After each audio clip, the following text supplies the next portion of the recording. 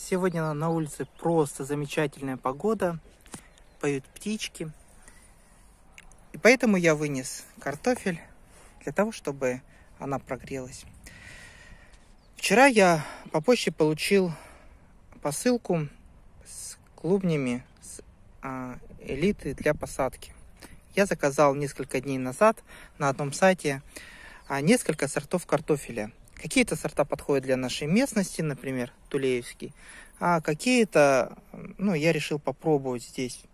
Хотя, да, не написано, что они подходят для нашего региона. Я живу в Восточной Сибири, но решил попробовать, например, вот Коломбо или Белороза.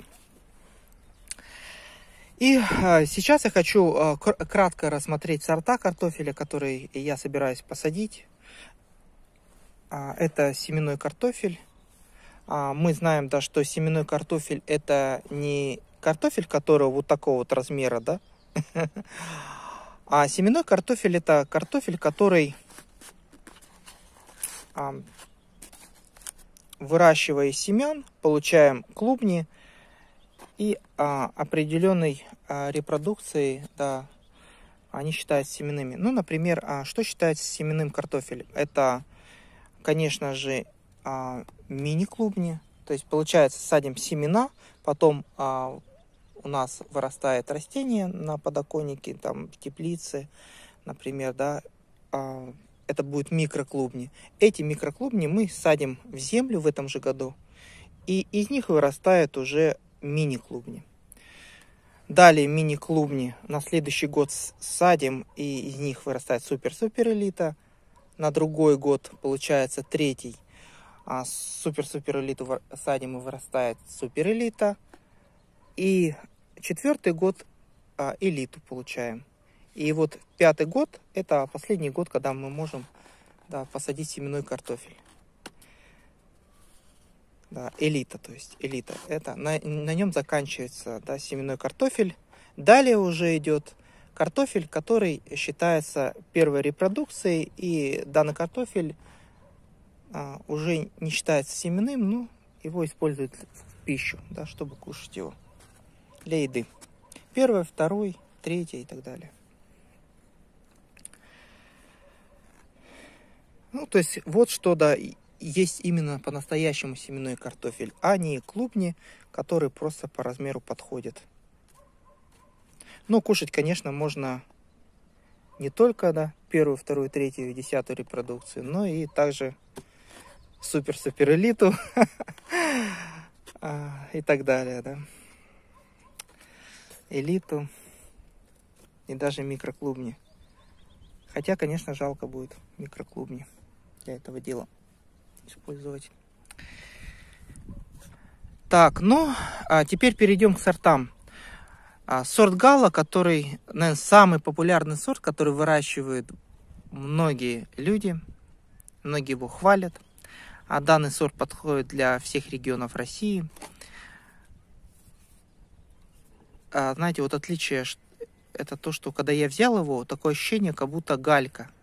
Вот он настолько гладкий, что вот, несмотря на то, что другие сорта картофеля тоже гладкие, вот даже вот королева Анна, да, но вот его берешь, и он такой немного тяжеленький и такой вот как бы кругленький, форма такой необычный, вот действительно напоминает гальку. а, такой интересный сорт. Говорят, очень урожайный, вот поэтому я его взял. Э, ну, урожайный, вкусный, подходит для всех регионов.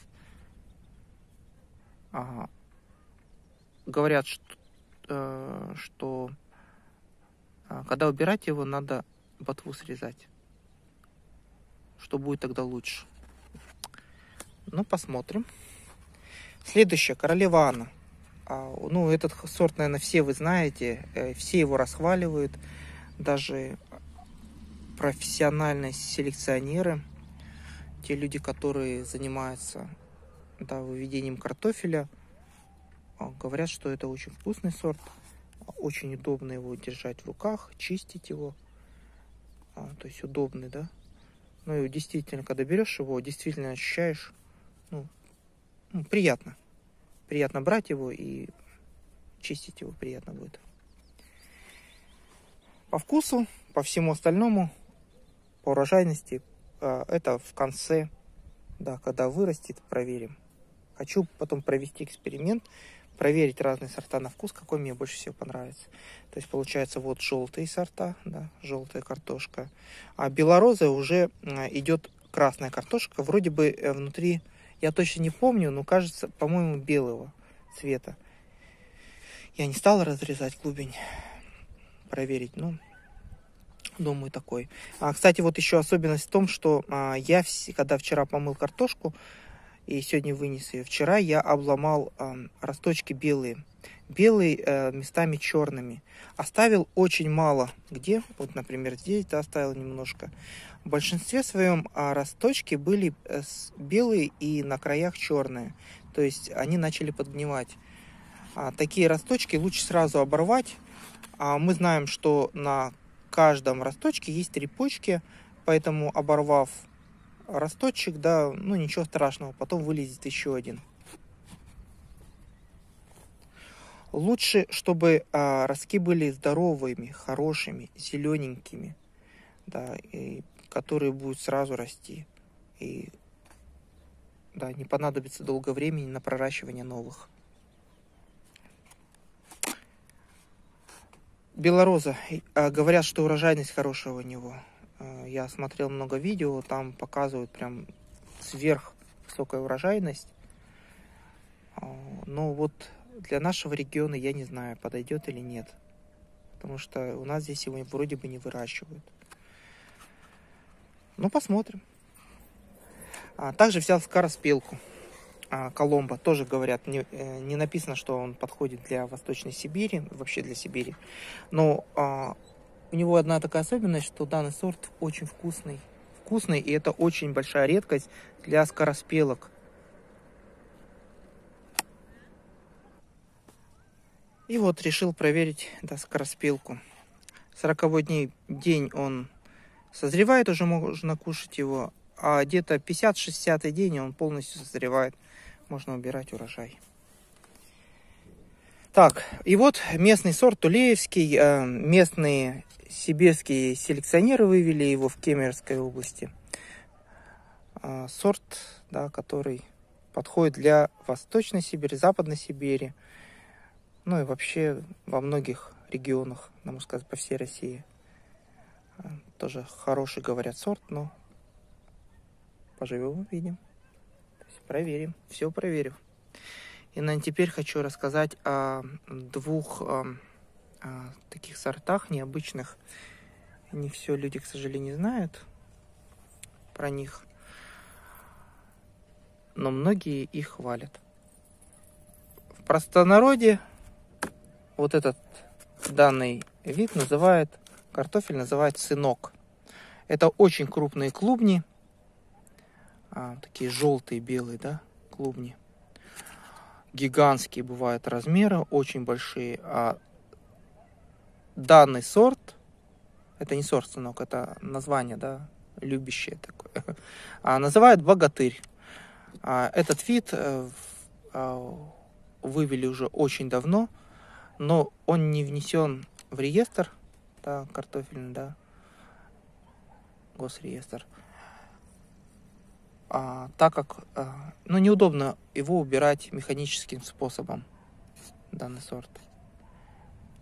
Лопаты, да, удобно выкоп, выкопать, да, лопатой. А вот автома машинами, да, ну, неудобно. Там клубни бывают, там, чебурашки какие-нибудь, знаете, там, с носами, там, с ушами и так далее. Ну, неудобно, да. Ну, гигантские размеры. Под лопату вообще супер. И другой подобный, а в простонародье люди называют лапоть. Лапоть, а сорт называется ермак. Да, из обычного ермака иногда вырастают гигантские клубни. Считается, что один фермер решил, а, проводил такие эксперименты. Барси, ты тоже, да, эксперимент хочешь провести? Ну и получилось так, что а, вывел данный сорт, у него были огромные клубни, да. И тоже так же, как и а, богатырь, да, сынок Ермак, у него тоже бывает такое, что там деформация сильно да, происходит, гигантизм. А, клубни могут быть там с ушами, с носами, и там разные там, да, закорючки. А, но мы знаем, да, как избавиться от этого всего. Барсик, ты понимаешь, что ты делаешь? Это не яйца, не яйца. Их, на них не надо сидеть, чтобы греть, они солнышком греть. Да, но мы знаем, да, как избавиться от этого, да, а когда картошка вырождается. Это взять от него помидорочку, из этой, которая созрела из этой помидорки, взять семена. Посадить семенами, мы получим мик, э, микроклубень, потом мини-клубень. Да? Первый год уже будет мини-клубень. Посадив мини-клубень, у нас будет хорошая картошка, здоровая, э, без всяких глазков, без глазков, ушей, да, а, носов и всяких закорючек. Так мы можем а, свой любимый сорт картофеля обновлять с помощью семян. Так, ну сейчас начинается уже а, дождик. Продолжение мы посмотрим дальше, да, Барсик? Продолжение будет? Барсик, будет продолжение? Мурчит, мурчит. Видимо, будет. Ну, далее, посмо... а, далее а, я хочу проверить, что же будет, что же будет, сравню. И также по вкусу в конце сравнить хочу уже по урожайности, насколько гнили будет и других болезней.